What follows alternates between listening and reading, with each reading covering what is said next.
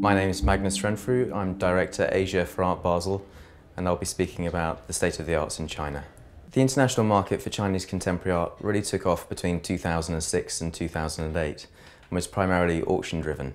The auction houses moved in to fill a vacuum that was left by the fact that there is very little by way of curatorial or critical framework for evaluation of artworks. Between 2008, when we launched the first edition of Art HK, we had 19,000 visitors. This year, with the inaugural edition of Art Basel in Hong Kong, we had 67,000 visitors. So it really demonstrates that there's a, a, need and an interest in seeing modern and contemporary art. There's a great need for art education in China for a number of reasons. Firstly, it's important in terms of audience building for contemporary art.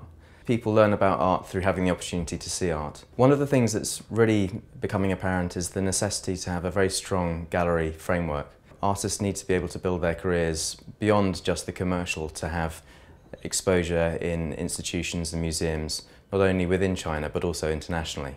There are many museums that are being built in China at the moment, with hundreds of being built in the last three years alone. But there is a dearth of skills in terms of the curatorial and critical skill set. At a time when China is moving from a uh, manufacturing-based economy to a services-based economy, innovation is going to be of primary importance. Art and arts education is vitally important in unlocking people's creativity and so it's very important to provide people with an opportunity to engage with art on, on a regular basis.